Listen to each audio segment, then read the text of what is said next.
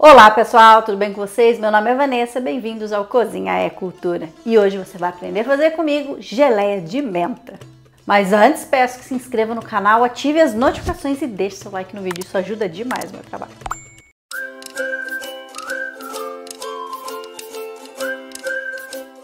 Vamos então hoje aprender essa geleia maravilhosa que é um acompanhamento perfeito para pratos salgados. É claro que você pode usar a sua geleia de menta como um elemento doce, mas ela fica perfeita com carnes de caça e principalmente com carneiro, cordeiro, borrego, como você quiser chamar. A hortelã é um tempero muito usado no Oriente Médio para acompanhar carneiro, gente, fica perfeito. E sabe com que também? Com outra coisinha do Oriente Médio, com quibe. Hum, essa geleia com quibe fica maravilhosa. Então bora lá que é bem fácil de fazer.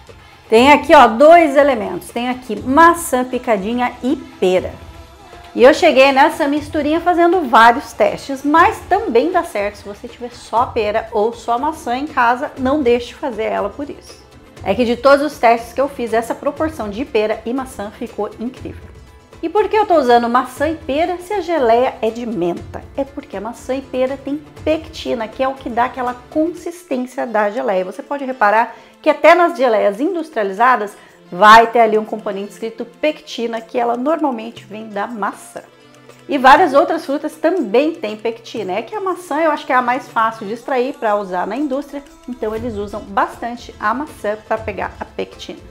Então tem aqui a maçã e a pera e tenho também suco de limão para ela não escurecer e também faz parte da receita por causa da acidez. Vou juntar aqui no liquidificador.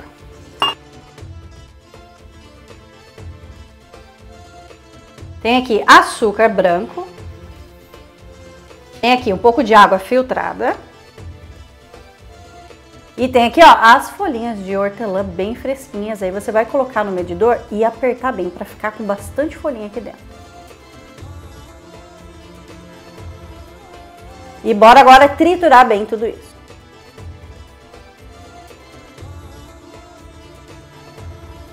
E depois de tudo bem triturado, já coloco aqui na minha panela que já está no fogo aquecendo. E agora é fogo até dar o ponto. Importante que sua panela seja de fundo grosso também para não correr o risco de queimar sua geleia. E agora eu vou mexendo aqui sem parar e quando ela começar a ferver, tome cuidado também, baixe o fogo porque ela começa a espirrar bastante. Então cuidado para não se queimar. Por isso que é bem importante, principalmente quando ela começar a ferver, você não parar de mexer, porque quanto mais você mexe, ela espirra menos. Se você deixa paradinha aqui, ela começa a espirrar bastante. Agora então aqui é carinho e paciência e eu vou mostrando as fases até dar o ponto. E já tem aqui ó 15 minutos de preparação, tá vendo? Ela já deu uma engrossada e o importante é deixar no fogo baixo porque ela espirra, tá vendo? Ó, se eu paro um pouquinho, tá vendo? Ela já começa a espirrar, então tem que mexer sempre e deixar no fogo baixo. E aí, daqui a pouquinho ela vai estar tá pronta, eu volto para dizer quanto tempo levou.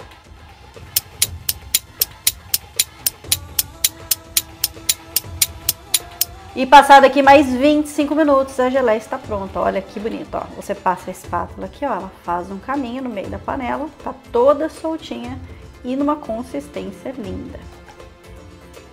Então a minha aqui no total foram 40 minutos, tá? Em fogo baixo, por isso que ela demora. Aí aqueles primeiros 15, 20 minutinhos que ela começa a espirrar. Assim que ela começa a pegar a consistência, ela já vai espirrando menos e para. E depois ela fica nessa consistência linda de geleia. E agora, por último, tem um elemento que se você quiser colocar na sua geleia para deixar mais verdinha, você pode utilizar que é um pouquinho de corante alimentar verde. Se você quiser deixar aquela geleia bem verdinha, você pode utilizar. Se você não quiser usar corante, tá tudo certo, porque ela já está pronta. E eu vou fazer aqui das duas formas para vocês verem a diferença. E tô aqui reutilizando potinhos de vidro, potinhos de conserva, de azeitona, de palmito, do que você quiser, você pode usar e deve, aliás, para fazer várias compotas. E aí você vai lavar bem, esterilizar o seu potinho. E como eu faço essa esterilização? Vou colocar os potinhos numa bandeja, potinhos de um lado, tampinhas do outro e levar ao forno pré-aquecido 180 graus por 15 minutos. Aí você vai retirar a bandeja do forno e deixar esfriar naturalmente. Então eu vou tirar uma parte aqui ó, e colocar no meu potinho esse sem o corante. Então tem um potinho aqui ó, com a geleia sem o corante e coloca quente mesmo dentro dele. E a outra parte aqui, ó, vou colocar um pouquinho do corante verde. Então, mexi bem para incorporar bem. Põe pouquinho, tá? Não precisa colocar muito. Vai colocando de gotinha em gotinha e vê a cor que você quer deixar.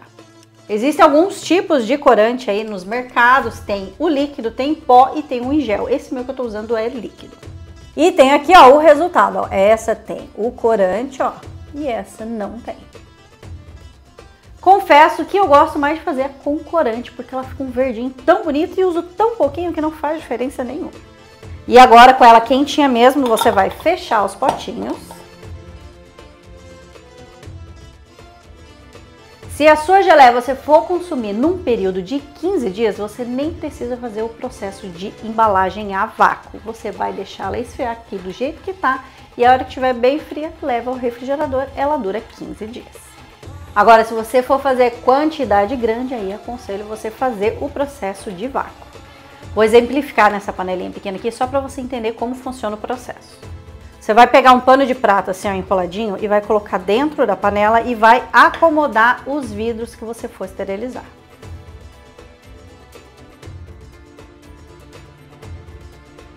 Tá vendo aqui, ó? Eu enrolei cada um aqui, ó, no paninho.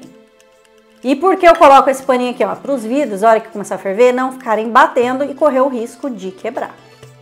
Próximo passo, então, você vai colocar água dentro da panela, água fria, tá? Até chegar aqui próximo à tampa pegar o potinho na mão para você entender melhor, você vai colocar água até aqui, ó, não pode cobrir a tampa. Colocou a água, leva ao fogo, assim que começar a ferver, você vai contar também 15 minutos e desliga. Aí passado esses 15 minutos, com muito cuidado, com uma pinça, você retira os potinhos de dentro da panela, deixa na sua bancada até esfriar. Esse processo vai criar vácuo dentro do seu potinho, que vai fazer aquele clique quando você abre. E esse processo de vácuo vai garantir uma validade maior da sua geleia. Ela vai durar até dois meses. E depois, gente, é só se deliciar e inventar várias coisas com essa geleia. Como eu falei, com as carnes de caça ficam perfeitas. Com o carneiro é assim, excepcional. E com quibe é uma maravilha. Inclusive, a próxima receita que eu vou gravar, fica ligado então, que vai ter um quibe para você experimentar com essa geleia. Deixa eu mostrar de pertinho aqui, ó. Essa é a com corante. Quero mostrar a textura. Ela tá quentinha ainda, lembrando que ela vai engrossar mais um pouquinho depois que esfriar. Mas é essa textura que fica, ó, bem bonita. Já que tá na colherzinha aqui, ó, eu vou provar ela quente mesmo, gente. Hum. Nossa senhora. O sabor dessa geleia já me remete aqui, ó, uma carne de carneiro ou o quibe. Então foi essa a nossa receitinha de hoje, geleia de menta. Espero que você reproduza na sua casa. Conta aqui para mim nos comentários. Manda esse vídeo para a família e para os amigos e até a próxima. Ai, gente, ainda bem que eu vou gravar o kibe. Oh, meu Deus, o cheiro é maravilhoso essa geleia. E olha que lindona que fica. Não perca.